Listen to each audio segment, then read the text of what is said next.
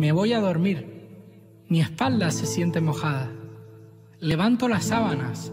El colchón está encharcado. Lo rajo con un cuchillo. Alambres y plumas veo. Lo primero oxidado, lo segundo podrido. Cuánta fuerza tienen mis lágrimas. Cuánto poder corrosivo.